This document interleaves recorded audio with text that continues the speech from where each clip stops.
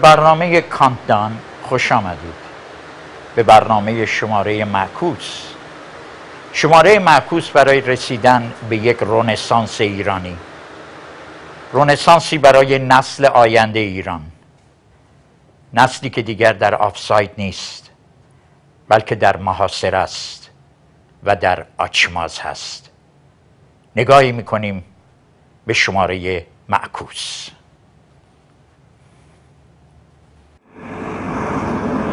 خودروی شناسایی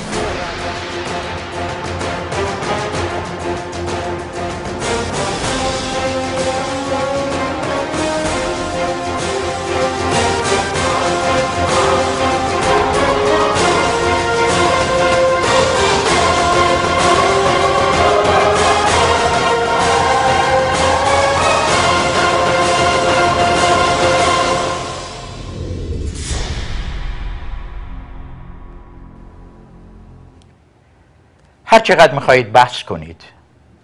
بحث این رو بکنید که آیا ما از بهار عربی باید اختباس کنیم و یک بهار ایرانی رو به ارمغان بیاوریم یا نه؟ این بهار عربی الگویی بود از آنچه که در خیابانهای تهران رخ داد آنچه که به صورت جنبش سبز رخ داد. ساعتها روزها می توانید بحث کنید ولی سرانجامش به یک نقطه صفر خواهید رسید. چرا؟ به خاطر اینکه معادله رو به اشتباه نوشتید. آنچه که در مصر اتفاق افتاد بسیار آن را الگویی از جنبش سبز می‌دیدن پاره هم مثل دوست نازنین من فرامرز فروزنده نازنین اشاره کردن شاید الگویی از انقلاب 79 به هر حال هرچه هست آنچه که در مصر اتفاق افتاد همان رویای آقای خمینی بود.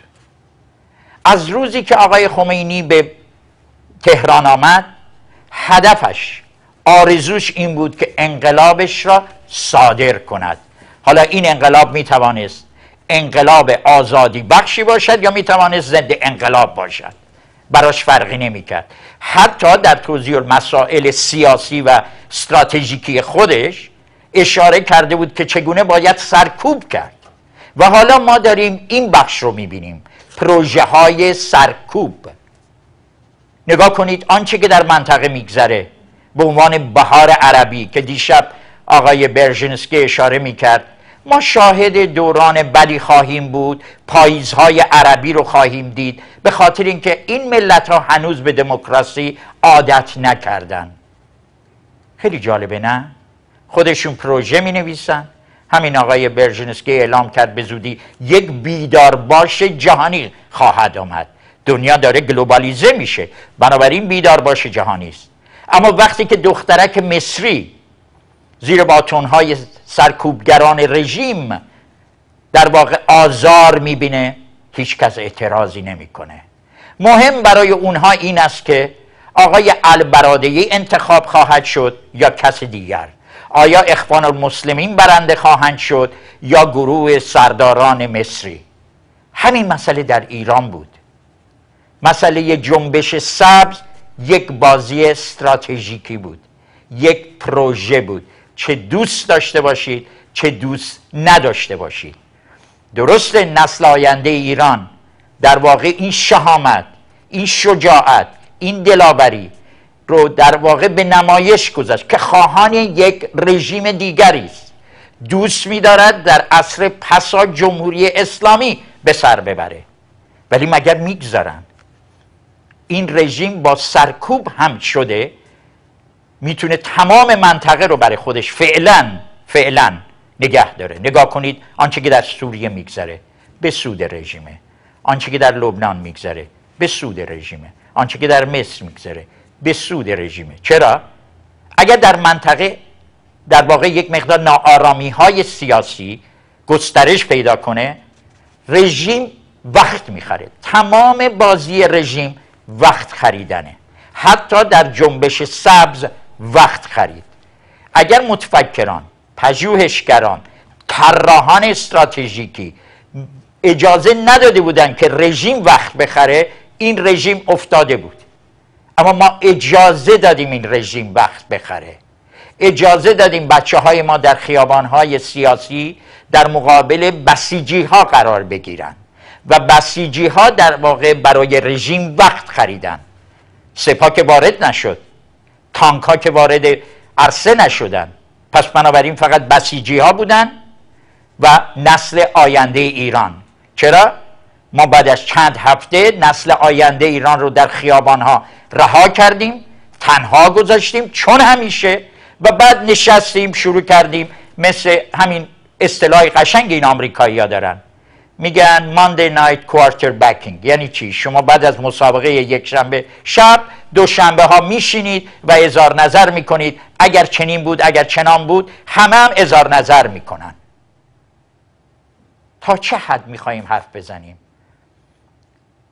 یادم میاد وقتی هنوز آقای خاتمی نیومده بود در ایران اتفاق بزرگی رخ داد. نکته جالبی که شاید برای همه شما جالب باشه اشاره کنم دو نامه دو بیانیه تمام سرنوشت سیاسی ایران رو تغییر داد. اولین بار قبل از اینکه آقای خاتمی وارد بازی بشه در جمهوریت دوم آقای رفسنجانی توجه کنید در دوران جمهوریت دوم رفسنجانی همه چیز در اختیار معمورین امنیتی بود و باند و مافیای رفسنجانی. بچه های روزنامه نگار بچه های نویسندگان مطبوعات کانون نویسندگان مطبوعات چنین برداشتی کردند که ورود آقای رفسنجانی و اون به اصطلاح فضای نیمه باز فرصتی به اونها خواهد داد که وارد کارزار سیاسی بشن. توجه کنید. بیانیه منتشر شد با 132 تن به اصطلاح یا امضا که من با آقای فرج سرکوی نازنین با آقای منصور کوشان نازنین با آقای دکتر براهنی همون موقع مصاحبه کردم در رادیو. این دوستان اکثرا سکولار بودند اما رژیم تدبیر دیگری اندیشیده بود. همین عالی جناب رفسنجانی که امروز برای بعضیا مقدس شده سیستم کاری آقای رفسنجانی به همراه دستگاه امنیتی و اطلاعاتی رژیم که اون موقع بعد از رئیس آقای فلاحیان صاحب شده بود این بود که این آقایون رو در واقع سکولارها و نویسندگان و متفکرین اصر تاغوت رو حذف کنن. و در کنار اونها دیگر اندیشان دینی رو به بازی بگیرن. آقای رفسنجانی اولین بار فرصت داد مطبوعات دیگری منتشر بشن.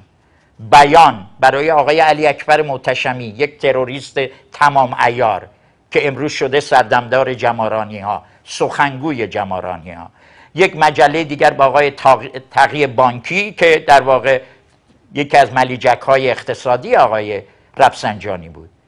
یک سلسله مجلات دیگری با آقای محسن سازگارا که بعدا شد ارباب روزنامه های زنجیره اما هیچ کس متوجه نشد که با چه زیرکی آقای رفسنجانی و آقای فلاحیان به همراه یک گروهی در دستگاه اطلاعاتی رژیم دارن یک عصر جدیدی رو در واقع بنیان می‌گذارن. درست مثل چین. دستگاه اطلاعاتی و امنیتی تمام قبل از اینکه هنوز سپاه ها وارد اشتباه نکنید هنوز سپاه وارد بازی نشده. همه چیز در اختیار مافیای رفسنجانی است. عالی جنابا آقازاده ها امنیتی ها همه ایران در اختیار اینها بود. سپاه و سردارها هنوز گوشنشین بودند.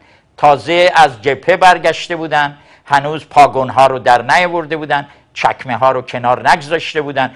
ولی آقای رفسنجانی و یارانش داشتن ایران رو قارت می‌کردن با همراهی امنیتی ها و در این امنیتی ها شخصیت های مثل آقای ربیعی آقای حجاریان آقای خسرو قنبری تهرانی بهزاد نبوی آقای آرمین که همه با دستگاه همکاری می‌کردن در واقع یک پروسه رو آغاز کردن به عنوان روشنفکران و دگراندیشان دینی که پدرخوانده معنویشون شد آقای سروش که در همون هنگام من با آقای دکتر برقی در مورد سروش، سروسیز و لوتریم صحبت کردیم.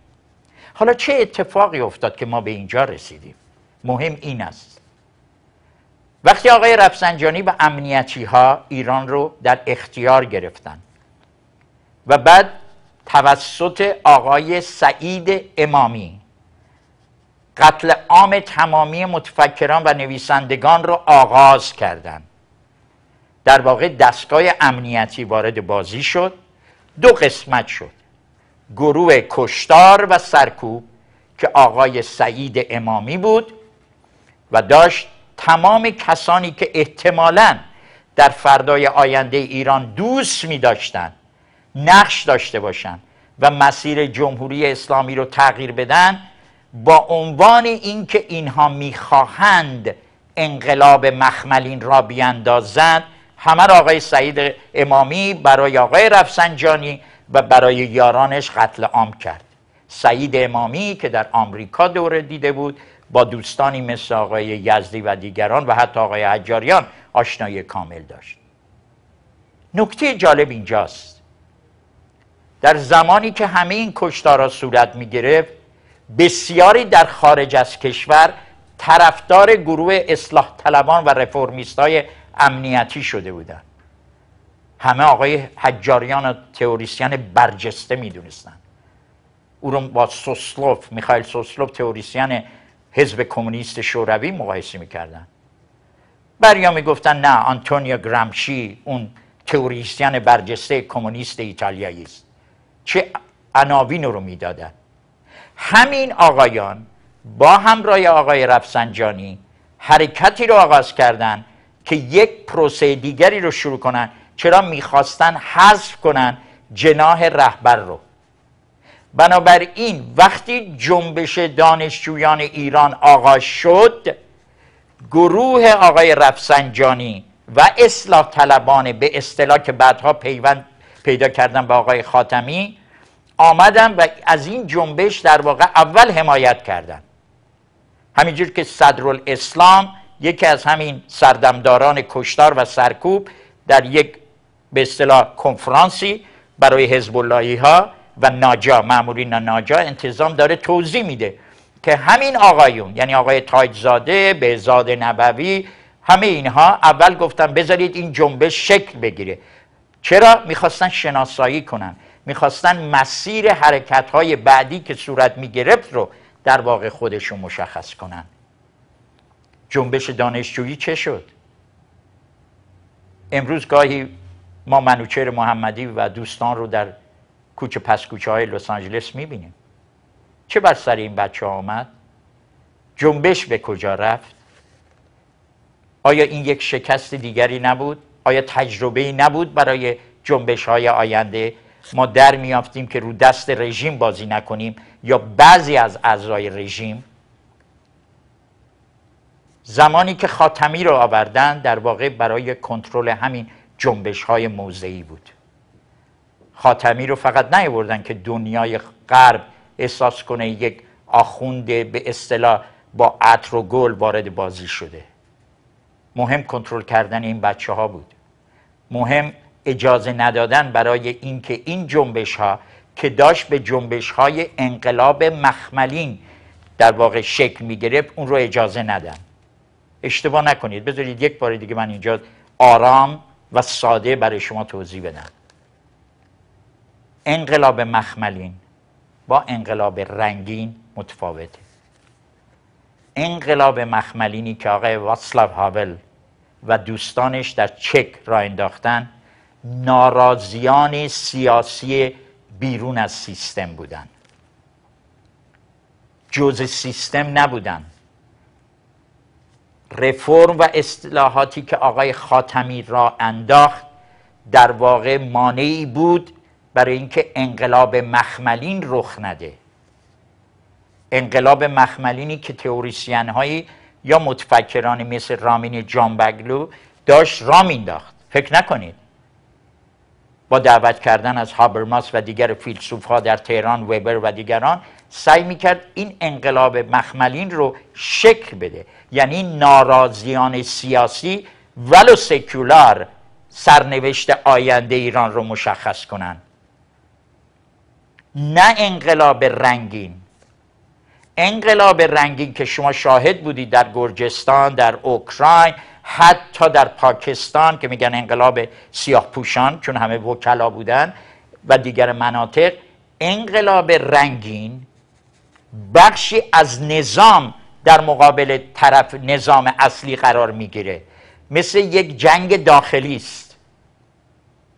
در انقلاب مخملین شما ناراضیان سیاسی دارید که با توجه به نسل آینده به پارادایم های شکل گرفته در جامعه پارادایم وقتی اشاره می‌کنیم یعنی همونی که در ایران اتفاق افتاد. نسلی که آمد مثل گروه آریان مثل خانم مریم دیجی مثل بچههایی مثل دیگر آمدن و این نسل حتی از لحاظ لباس پوشیدن از لحاظ شکل ظاهری متفاوت بود. برای همین رژیم میترسید. احساس می‌کرد داره یک انقلاب مخملین در ایران اتفاق میفته حتی مخالفان سرداران رژیم آقای خاتمی را مسئول انقلاب مخملی می‌دونستند در که آقای خاتمی نیومده بود. حتی اون موقعی که می‌گفتن آقای خاتمی گرباچفه من اشاره کردم نه ایشون خروشچف هستن. اومدن ستالینیست ها رو بیرون می‌کنن. و آقای خاتمی همین کار رو کرد. برای رژیم وقت خرید. برای چه وقت خرید؟ برای چه کسی وقت می خرید به نظر شما؟ برای جریانی که او رو به سر کار آورده بود و برای آنهایی که داشتن پروژه های هسته ای رو ادامه می‌دادن. ولی آقای خاتمی کاری نبود. چرا کاری نبود؟ به خاطر اینکه وقتی آقای خاتمی این جنبش دانشجویی و جنبش های خیابانی رو که می‌تونست وسیله قرار بده و از این رژیم هم عبور کنه. آیا عبور می‌کرد؟ امکان نداشت. امکان نداشت. همینجور که آقای صحابی در یک مصاحبه در روزنامه روز آنلاین گفته بود ما نیومدیم رژیم رو بندازیم. همینجور که آقای میر حسین موسوی اشاره کرده بود ما نیومدیم رژیم رو تغییر بدیم. همه وقت میخریدن برای رژیم. اما متوجه نبودن که در این میان ادهی هم کمین نشستن که بتونن شرایط بازی رو به دلخواه خودشون تغییر بدن. اونم چه کسانی بودن؟ سرداران سپاه. سرداران سپاه از جبهه برگشته بودن. گرباچف ارتش سرخ شوروی رو بیرون کشید. دیگه نیازی به جنگ ایران و عراق نبود. نگاه کنید دیتا رو برید بخونید. می‌بینید تمام جنگ ایران و عراق تا زمانی که ارتش سرخ در افغانستان بود ادامه داشت بعدم آقا رو مجبور کردن شربت شهادت نوشیدن و بعد چی شد؟ باید رژیم تغییر می‌کرد چرا باید تغییر می‌کرد؟ چون سردارها احساس می‌کردن رژیم در خطره اولین بار ما یک بیانیه می‌بینیم. بازم یک بیانیه مثل همون بیانیه 132 تن که موجب کشتار بسیاری از این بچه ها شد. قتل های اما این بیانیه متفاوت بود از بیانیه های دیگر. این بیانیه بر علیه رئیس جمهور نوشته شده بود. 24 سردار آمدن و یک نامه مستقیم و سرگشاده نوشتن به آقای خاتمی و او رو تهدید کردن. شما اگر اسامی این شخصیت ها یا این سردار رو بخونید امروز متوجه میشید در کجا ایستادید. سردار رشید بود سردار عزیز جعفری بود سردار غالیباف بود سردار کوسری بود سردار قاسم سلیمانی بود خیلی های دیگر. احتیاجی نیست. من تمام اسامی رو دارم. نیازی هم نیست همه رو بخونیم. اما چه شد به نظر شما؟ با تهدید مستقیم رئیس جمهور برگزیده مردم مگه شما نمیگید آقای خاتمی 20 میلیون رأی آورد؟ با رأی مردم انتخاب شده بود. چگونه 24 سردار سپاه اجازه میدن به خودشون که به آقای خاتمی تو دهنی بزنن؟ چون یاد گرفته بودن. نه فقط از تاریخ از لیژیون هرای روم که هر وقت اراده می‌کردن یکی از این سزارها و قیصرها رو میکشتن یکی دیگر رو جاش میذاشتن اینها یک بار تجربه بسیار خوبی داشتن. تجربه بیرون راندن بنی صدر. اولین بار برای بیرون راندن بنی صدر نقشی که آقای محسن رضایی بازی کرد مهم بود. در واقع آقای محسن رضایی در یک برنامه تلویزیونی روبروی آقای بنی صدر نشست و در موقع او رو متهم کرد که دارد لطمه می‌زند. کاران تاریخ بودند. برای پیشبرد مقاصد خودتون استفاده کرده اید.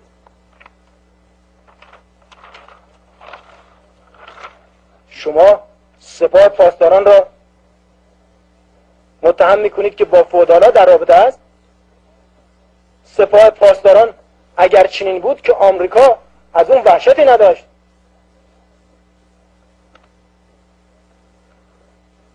و ما امیدواریم که مردم قضاوت همیشگی خودشان را خواهند کرد. قضاوتی که پشت دشمنان این مرز و بوم را به لرزه درآورد. این قضاوت قضاوت خلق هاست قضاوت ادهی قدرت طلب و انحصارگران نیست. من بحثم در اینجا تمام میشه. بعد برادر دیگه.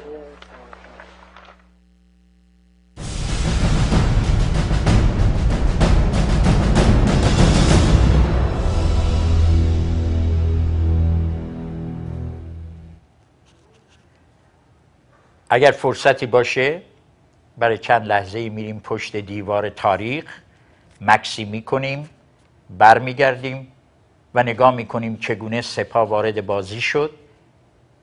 آنچه که در ایران رخ داد جنگی که بین دستگاه حراستی رژیم و دستگاه امنیتی رژیم چه پیامدهایی برای خود رژیم و تمامی جنبش های احتمالی ایران داشت. اگر فرصتی کنیم برمیگردیم و به این می‌پردازیم. سکوت از شهر تیره پر می‌گیره. نگاه کن پای آزادی این خواب داره قشنگ ترین گلامی میره. داره قشنگ ترین گلامی میره.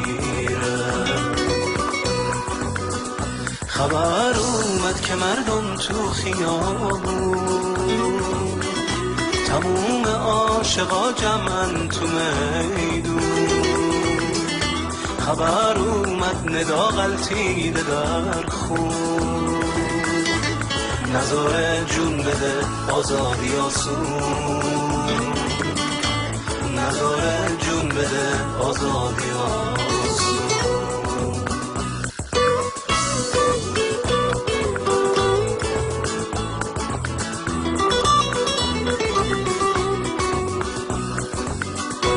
خبر اومد که سینش سرخ خوردار تموم شهر پر از آتیش و فریاد. خبر اومد که خون شد قلب سهران ترانه رو سوزونده دست بیدار. به بار آسمون بر این شب تا که عاشقا رو میبندن به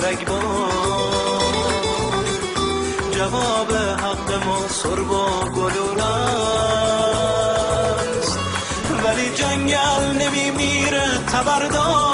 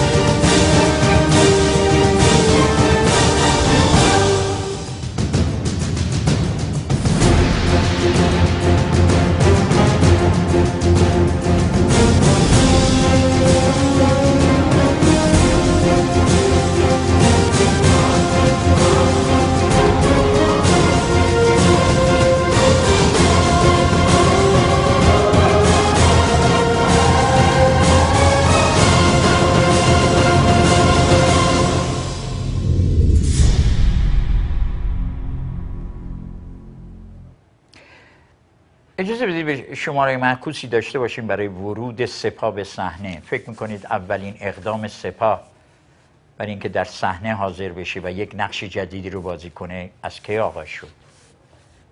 پاره معتقدن زمانی که آقای هاشمی رفسنجانی محسن رضایی رو که پاگوناشو در آورده بود چکمه کنار گذاشته بود به عنوان دبیر شورای مسلحت نظام انتخاب کرد. شاید آقای هاشمی رفسنجانی با آینده سیاسیش فکر می‌کرد که نیاز داشت سپاه در کنارش قرار بگیره. حتی بخشی از سرداران سپاه حداقل. چرا؟ چندی بار تلاش کرد وارد مجلس بشه شکست خورد. به پست دوباره بر کرسی ریاست جمهوری تکه بزنه شکست خورد. پس بنابراین بدش نمی اومد رقیب اصلیش که آقای خامنه ای بود رو اگر شده برکنار کنه. آقای امیر محبیان تئوریسین اصولگراها مطلبی نوشته بسیار جالبه. گفته چرا رئیس جمهورهای ما همیشه وقتی برکنار میشن یا دورهشون تموم میشه میشن رهبر اپوزیسیون؟ جالبه نه؟ یعنی آقای بنی رهبر اپوزیسیونه. یعنی آقای خاتمی رهبر اپوزیسیونه. یعنی آقای رفسنجانی رهبر اپوزیسیونه. و همه تلاش این به اصطلاح شخصیت های وابسته به رژیم این است که به بالاترین پست دست پیدا کنند تلویحا آقای امیر محبیان این رو گفته. بعد از ریاست جمهوری ولایت فقی چرا نه؟ چرا نه رهبری؟ آقای رفسنجانی خودش رو لایق می‌دونه. حتی در همین جنبش سبز وقتی داشتن پرونده به اصطلاح این فتنگران به گفته رژیم رو در واقع اسناد رو منتشر می‌کردن حرفشون این بود که آقای موسوی خوینی ها و آقای رفسنجانی تصمیم گرفتن آقای خاتمی رو رهبر کنن. البته رهبری با درایت و دموکرات. پس بنابراین این جنگ وجود داره. و همیشه هم هست. اما آنچه که آقای رفسنجانی و تمامی تئوریسین های خارج و داخل کشور فکر نکرده بودند که چگونه سردار وحید و شخصی به نام مرتزا رضایی که در دستگاه اطلاعاتی و امنیتی سپاه کار می‌کرد تصمیم دارند تصمیم دارند که با حذف سازمان امنیت رژیم و برکناری آنها در واقع صاحب قدرت بشن. آقای مرتزا رضایی مغز متفکر بود. آقای سردار وحیدی که الان وزیر جنگ شده بود رهبری عملیات رو به عهده داشت. و هدف اینها این بود که سپاه با سرمایه های اندوخته شده از بنادر و از سازمان ها و بنیادها وارد کارزار بشه و یک سیستمی نظیر مدل چینی در ایران پیاده کنه. سپاه بازی ها رو اداره کنه از پشت. ادهی هم در مقابل کچشلواری ها مثل احمدی نژاد مثل لاریجانی ها. در, در انظار جهانی ظاهر بشن. سعید جلیلی متکی نه آخوندها. و بسیار خوب, خوب کار کردن.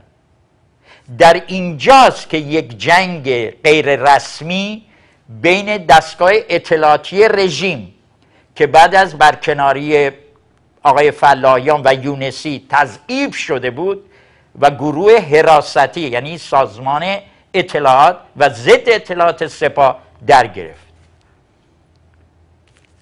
یادتونه آقای یک سرداری به اسم شهرام امیری؟ ناگهان ناپدید شد در عربستان و بعد گفتن اسناد بسیاری رو با خودش حمل می‌کرده. شما اگر رفتید حج اسناد به اصطلاح فوق محرمانه سایت اتمی قم رو با خودت به عربستان برای چی می‌بری؟ قبلا هم که سردار اسکری ناپدید شده بود. گروه حراستی ها معتقد بودن سازمان امنیت اینها رو لو داده. ولی آقای شهرام امیری آمد و داستانهای دیگری گفت. گوش کنیم بد نیست. و قصد ادامه تحصیل در این کشور را دارم. من اینجا آزاد و به همه اطمینان می دهم که در امان هستم. هدف من از گفتگوی امروز پایان دادن به تمام شایعات و اتهاماتی است که در طی یک سال گذشته علیه من مطرح شده است. من یک ایرانی هستم و هیچ اقدامی علیه میهنم انجام ندادم آرزوی من دیدن ایران و مردم آن بر فراز قله های پیشرفت و موفقیت می باشد من از لحاظ سیاسی فرد صاحب نظری نبوده و هم به موضوعات و مباحث سیاسی هیچ دولت و کشوری ندارم. من اعتقادی به تحقیقات تسلیحاتی نداشته و در این زمینه نیز هیچ گونه تجربه و دانشی ندارم.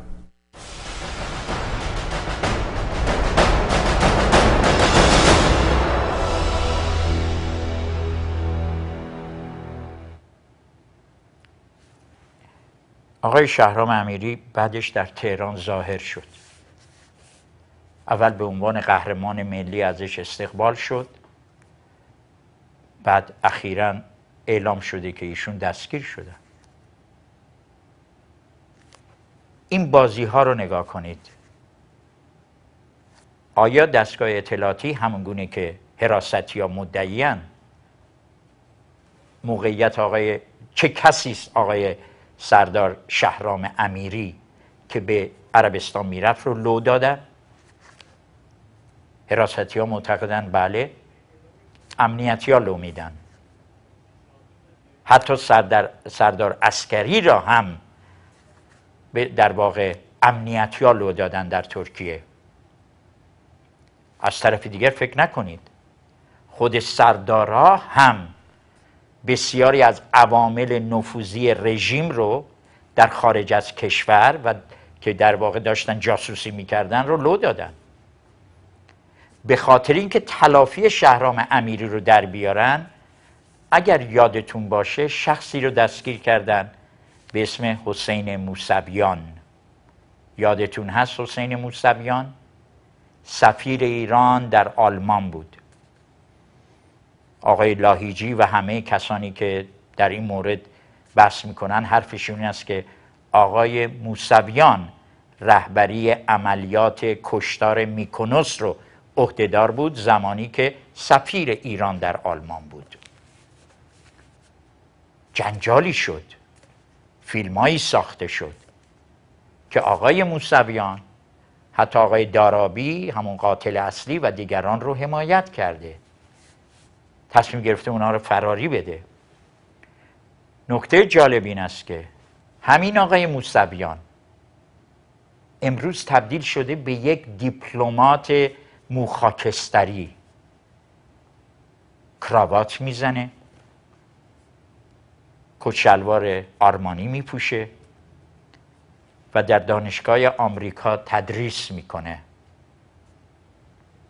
آقای موسویان که به جرم جاسوسی هم از طرف سپاه دستگیر شد که اطلاعات بسیاری از به خاطر اینکه ایشون جزء کادر و گروه آقای حسن روحانی بود در مذاکرات هسته‌ای و اطلاعات بسیاری داشت. از مواضع هسته ایران چه میگذره. و حتی اخیرا هم در وال استریت جورنال در واشنگتن پست مقالاتی نوشته و به آمریکایی ها راهبرد گفتگو و مذاکره با رژیم ایران رو داده. حالا تکلیف ما مشخص نیست. اینجاست که ما به عنوان مبارزان و اپوزیسیون باید تکلیف رو مشخص کنیم. این آقای موسویان یک سردسته تروریست یک دیپلمات یا استاد دانشگاه یا جاسوس دو جانبه. گرفتاری خارج نشینا همینه. حتی اونهایی که تا دیروز در سازمان های چپ فعال بودن تودهی بودن فدایی بودن کمونیست کارگری بودن. به نوشته دو سه نفر از این متفکران چپ در سایت های معروف که شهرت جهانی دارن اشاره می‌کنن هیچ وقت مشخص نشد این ایرانیان کجا ایستادن. چپ ایران کجا ایستاده. حالا مشکلشون با چپ خارج هم هست. همینجور که میشه فوکو رو بارها سوال کردن. تو برای چی رفتی از خمینی حمایت کردی؟ که خانم جانت آفاری و آقایی به نام کن اندرسون بسیار کتاب جالبی دادن در مورد این فیلسوف فرانسوی که عاشق آقای خمینی شده بود و عاشق انقلاب خمینی. امروز ما تکلیفمون با رژیم و با سیستم مشخص نیست. ما یک روز خامنه چی میشیم؟ یک روز خاتمی چی میشیم؟ میدان ملاقات براز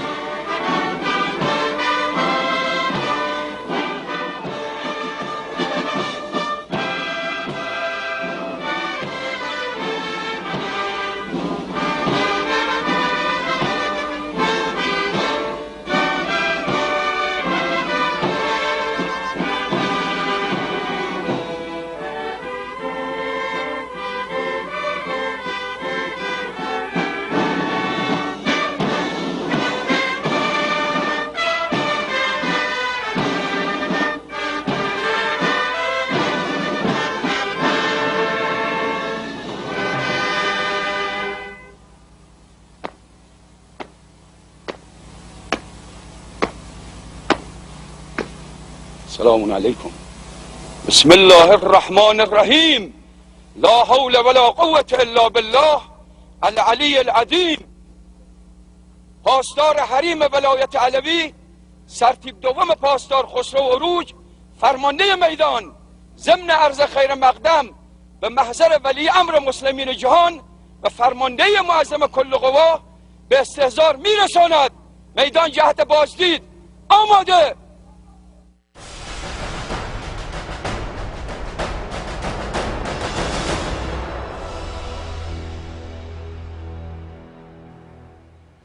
اولا چه مراسم حقیری بود؟ سوال اول این است که کی همین سپاه آقای رهبر رو رها خواهند کرد؟ این سوال یادتون باشه هست. نکته دوم عنوانی که به آقای خامنه ای داد رهبر مسلمین جهان. مسلمین جهان. حتی در دنیای شیعه فعلا قرار آقای آیت الله سیستانی پاپ شیعه بشه در واتیکان نجف. چرا که اصلا هدف از بردن آقای آیت الله سیستانی به نجف و اهمیت بخشیدن به ایشان این بود که واتیکان در اونجا باشه. البته آقای سیستانی مثل آقای خامنه ای ارتش نداره. نه. ارتش مال آقای خامنه ای فعلا. اما باور نکنید به خاطر اینکه من بارها و بارها سالهاست میگم. به نظر من زراتخانه هسته‌ای رژیم دست آخوند خامنه ای یا آخوند رفسنجانی یا خامنه حسن روحانی نیست. دست همین پاگندار هاست چکمه پوشا.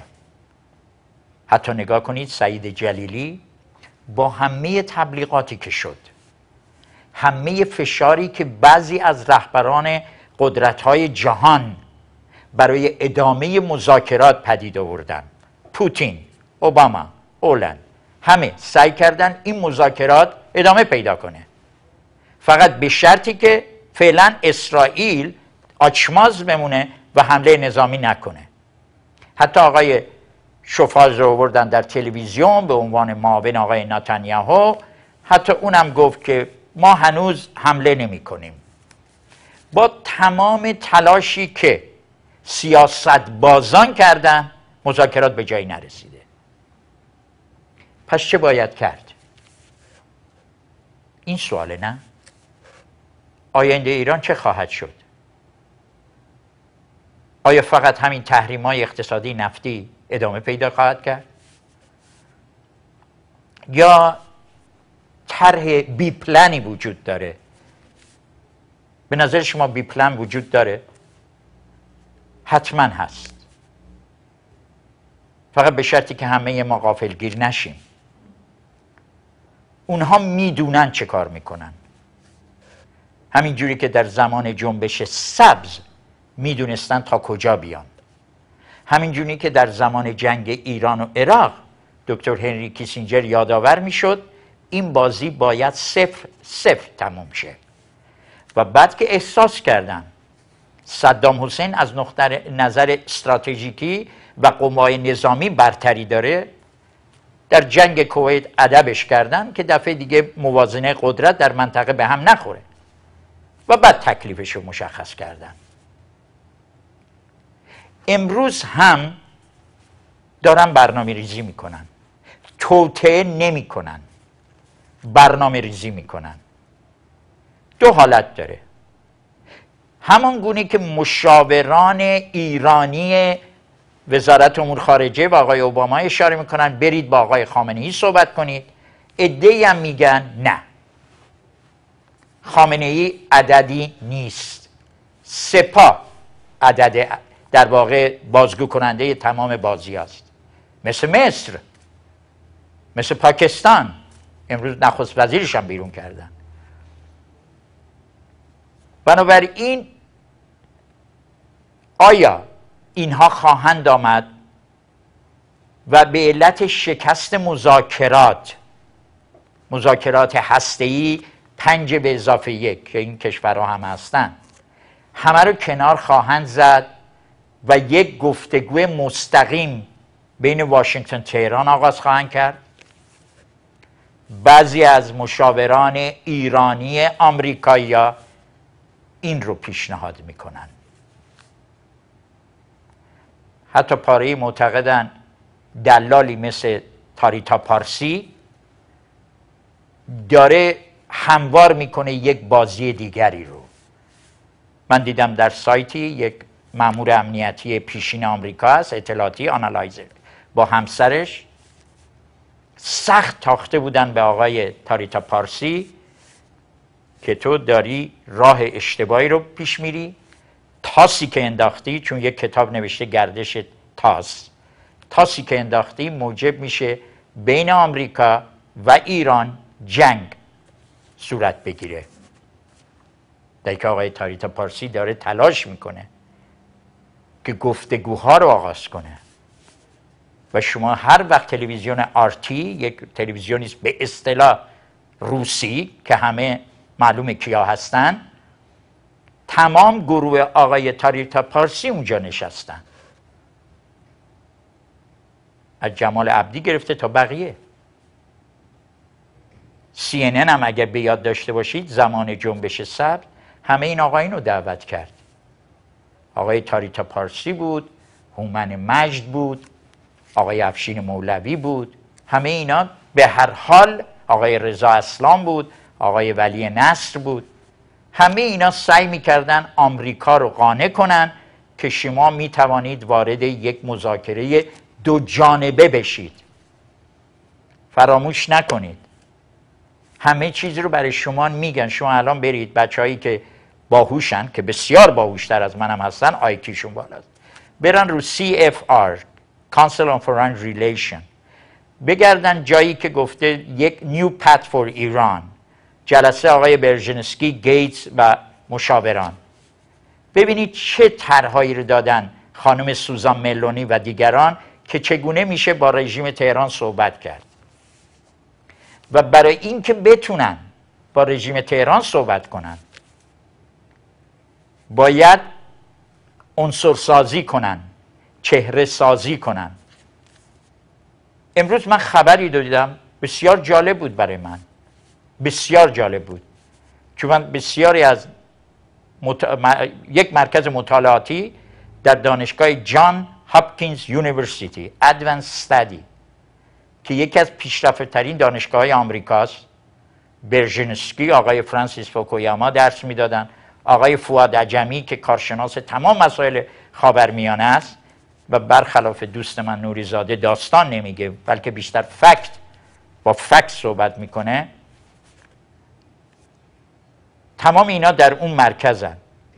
و من دیدم آقای ولی نصر پسر سید حسین نصر رو سرپرست think tank یا مرکز مطالعات این Johns Hopkins University Fletcher and Tufts University گذاشتن.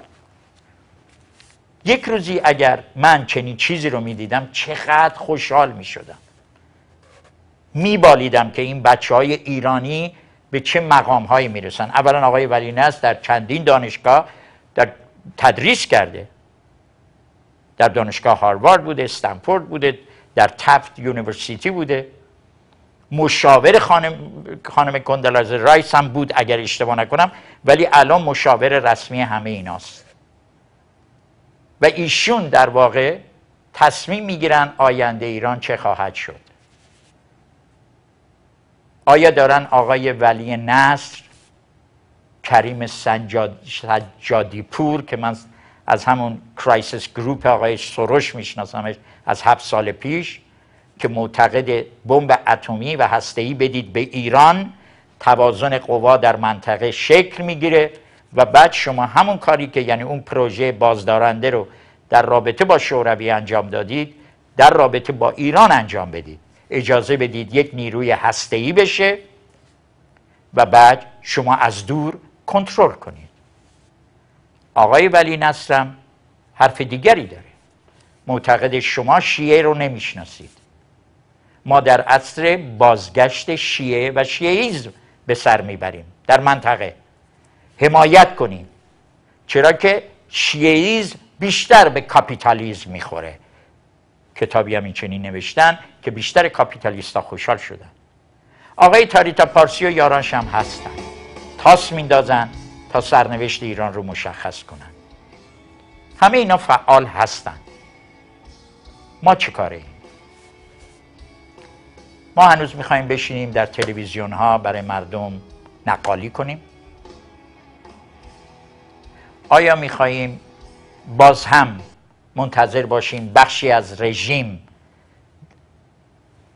دستشو به سوی ما دراز کنه ما هم بشیم جزو fellow traveler های اونها. به گفته آمریکایی اونهایی که با کمونیستا راه می‌رفتن می‌گفتن fellow traveler البته واژه بسیار با ادبی بود برای اونا. در حالی که خود لنین معتقد بود اونهایی که از سیاست های او از کاز او دفاع می‌کنن یوزفول ایدیتن این حرف آقای لنین بود در مورد تمام اونهایی که از انقلاب بلشویکی او حمایت می‌کردن می‌گفت ابله هایی هستن کمدین هایی هستن که اصلا نمی‌فهمن دنیا دست کیست. اما بخواهید یا نخواهید تاسو انداختن. تصمیم بگیرید شما چه می‌کنید. فقط زمانی که یک جنبش صورت می‌گیره و بعد تبدیل میشه به یک کارنوال در بازی شرکت نکنید. شما امروز موجب شدید همه همه با هم که نسل آینده ایران در محاصره قرار بگیره. یک روزی من می‌گفتم نسل چهارم ایران نسل سوم ایران. امروز نمیگم نسل پنجم ایران. چون نمی‌دونم اصلا برای نسل پنجم فرصتی هست. خودتون تصمیم بگیرید. ما فقط برای شما تحلیل می‌کنیم برای شما مطالعه می‌کنیم و به شما ارائه میدیم. می‌تونید مخالفت کنید می‌خواهید فقط گوش کنید. نیازی نیست که فکر کنید کلاس درسه نه. ما مطالعه می‌کنیم به شما ارائه میدیم و منتظر میشیم که نسل آینده ایران تصمیم بگیره.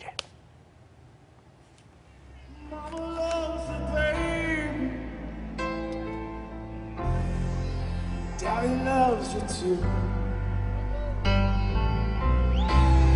And the sea may look warm to you, baby.